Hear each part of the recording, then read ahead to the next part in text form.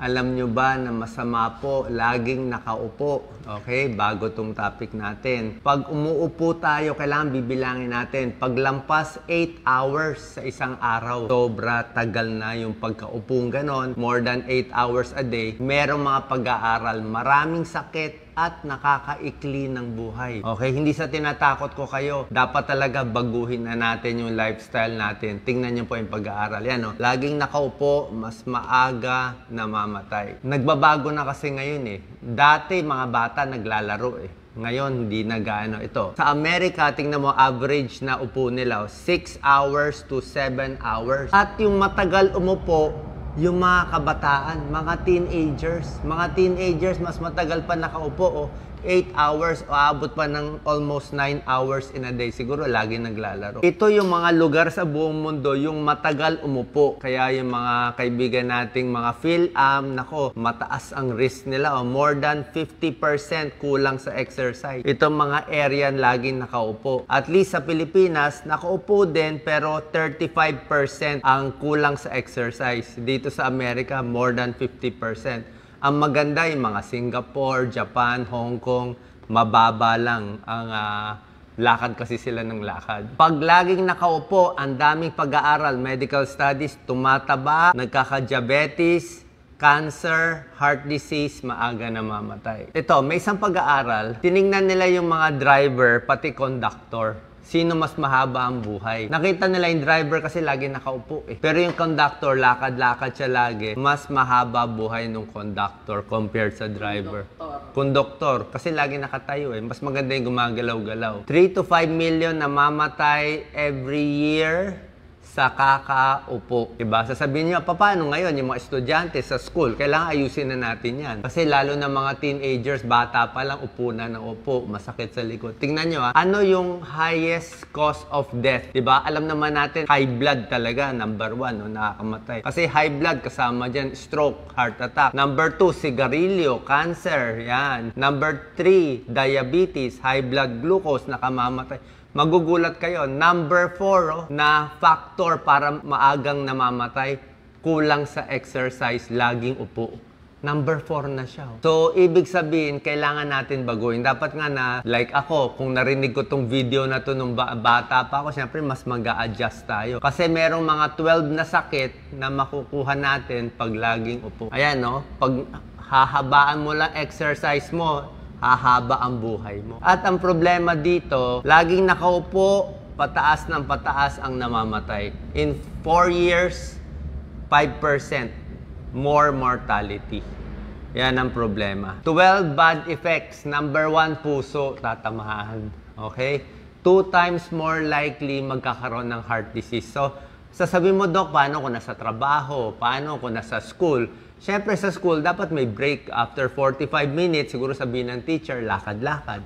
Kung meron kayong meeting na matagal, i-time nyo. Pag 45 minutes, 5-minute break. Punta mo na sa CR, akit mo na hagdanan. Pag nagko-computer, yan, dapat nakatayo minsan. Meron namang mga standing table, di ba? Meron habang nagbabike, meron ako nakita yung habang nagbabike na doon siya gumagawa ng trabaho niya eh. Meron siyang table. So, laging nakaupo more than 8 hours, higher risk of heart attack, nakakaikli ng buhay. Pinakita ko na sa inyo yung mga pag-aaral. Ang problema dito daw, pag ang upo mo 8 hours or more in a day, kahit daw mag-gym ka pa sa gabi, kahit mag-exercise ka pa sa gabi, di dapat nag-exercise ka, hindi daw mababawi yung pinsala nung tagal ng upo. Eh. So, mas gusto niya yung exercise mo putol-putol. Tawag nila dito, exercise snack. Ang pagkain snack. Hindi ang snack mo, hindi chocolate. Ang snack mo, exercise. Like ito, tapos nitong video na to, kailangan maglakad-lakad na ako. Kailangan magda-dumbbell na ako konti. Kailangan mag-stretch na ako. O habang nakaupo, galaw-galaw ang paa.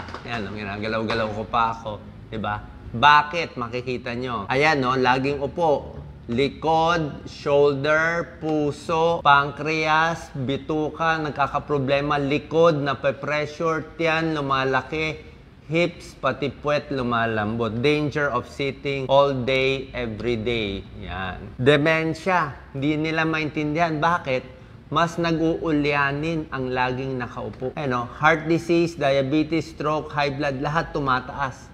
siguro tumataba o walang ganong ginagawa o puro computer kaya nakaupo, kaya nagde-dementia. Hindi pa malinaw pero ang alam nila, basta matagal nakaupo, nagkakaroon. Dati iniisip natin, di ba, ang masama, sigarilyo eh. Di ba? O masama pa rin naman ang sigarilyo, pero pag naninigarilyo ka ng one pack a day, delikado. Ngayon, pag umupo ka ng 8 hours a day, masama na. Kung 6-7 hours, pwede-pwede na. Mas okay pa nga higa. Eh, siguro mag-siesta ka na lang ng 30 minutes. Yung higa kasi at least rested ka eh. So, maganda. Minsan upo, minsan tayo. Ayan, no? Kahit mag-exercise ka pa. Yan, no? Kahit mag-exercise ka pa, hindi mo marireverse yung bad effect ng pag-upo ng 7 hours in a day. Ito nga 7 hours lang eh. Diabetes, tataas. Okay? Hindi malinaw. Sabi nila parang nag-iiba yung reaction ng katawan sa insulin. Basta lagi nakaupo, tumataas ang diabetes. Minsan kasi ganun eh. Hindi pa malinaw kung bakit. Baka kain ng kain, kulang sa exercise, tumataba, kaya tumataas diabetes. Sitting, neck pain, hirap huminga, heart disease, diabetes, ayan no. Pati dito sa may pelvis, dito sa may puweta natin, madalas nag-spasm yan. At pinakaayoko sa lahat, sa lahat ang ayaw natin itong varicose veins. Diyan tayo na Nakakasar tong varicose veins. Yan talaga. Laging upo, maiipit talaga, lalaki ang varicose veins mo. Mabuti kung varicose veins lang. Ang kasunod ng varicose veins, manas. Ang pinakaayaw natin na komplikasyon ng varicose veins, meron siyang isang komplikasyon na deadly, nakamamatay. Ito yung delikado. Ayan, for circulation, pakita ko yung nakamamatay, ito yung deep venous thrombosis. Ito po pinakadelikado sa lahat. Yung malaking ugat sa paa, namuo ang dugo. Pag namuo ang dugo dito sa binti, yan, lalaki yung binti, masakit hawakan. Pag natanggal yung dugong yan, aakyat yan sa baga. Magbabara sa baga. Pag nagbara yan sa baga, pulmonary embolism, marami na mamatay. Deadly to. Anong para mawala to? Compression stockings. Tapos, uh, lakad-lakad, wag uupo na matagal. Diba? Gusto ko nga sa gabi, nakataas nga yung paa eh. At least 15 minutes, 30 minutes bago matulog, taas mo na yung paa para bumaba yung dugo. Pati daw nervyos, mas may nervyos yung mga laging nakaupo. Uh, bakit? Siguro laging mag, maraming trabaho o for some reason, yan, no, hindi pa malinaw bakit yung mga laging nakaupo, mas ninenervyos. Sa likod, siyempre, masakit sa likod talaga. Mas malaki ang pressure.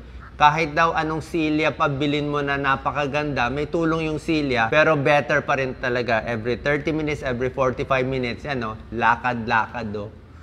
I, para dumalo yung dugo. Ayan, lahat ng komplikasyon ng pag-upo kaya dapat i-adjust na natin yung buhay natin. Ano? Nakayuko, ulo pressure, neck problem, lagi nakaupo, carpal tunnel, computer, knee problem, humihina, paa, nagbavaricose, hips, dito sa may, sa tumbong, ako nagspasam ako dito minsan. Hernia, luslos, low back pain, hirap huminga, pati shoulder affected talagang lahat orthopedic problem. Pag nam, laging nakaupo, ayan, no? tataba pa tayo, overweight, syempre, di ba, kain, upo, dapat lakad-lakad. Yan ang kasabihan sa medisina. Ito, tandaan nyo to. Yan ang handbook natin sa katawan natin. Move it or lose it. Okay? Ibig sabihin, pag hindi mo ginamit yung parte ng katawan, mawawala yon, hihina yon, pwedeng mamatay yung part na yon. Pag hindi mo ginamit yung utak mo, magre-retire ka na, tulog ka na lang, nood ka na lang TV, liliit ng liliit yung utak, malilimutin, Alzheimer's.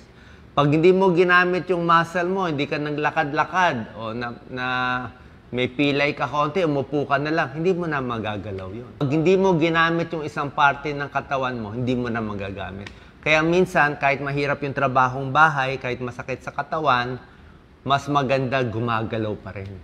Kung may back pain nga kayo, back pain, dapat ang pahinga one day lang. Maximum one day. Next day, kahit masakit, pilit galaw-galaw. Galaw-galaw or papanaw para hindi pumanaw. Yun talaga. And syempre ito, cancer risk goes up po. Colon cancer, endometrial cancer, lung cancer, breast cancer, lahat tumataas. Connected sa pag-upo, hindi pa malinaw bakit. Ayan, no? Merong mga table na matataas, lakad-lakad, pwede mag-alaga ng pets, maggawa ng trabahong bahay. Yung iba may treadmill. Kaya hindi pwede yung 8 hours upo, then exercise 1 hour sa gabi. Not enough daw. Dapat daw within the day. Kaya siguro pati sa eskwelahan, pati sa office, may area na pwede maglakad-lakad yung mga... Yan, mga stretches, pwede rin. Actually, basically, walking lang eh. Yung mga konting stretch, may tulong din yan eh. Okay, saan po nakatulong tong video? Ah, wag natin isa walang bahala, ah, lalo na pag senior na, nagkakaedad na, dapat ang focus natin paano na humaba ang buhay. Ito yung isang problema natin. Laging upo, hindi natin napapansin. So, galaw-galaw tayo. Salamat po.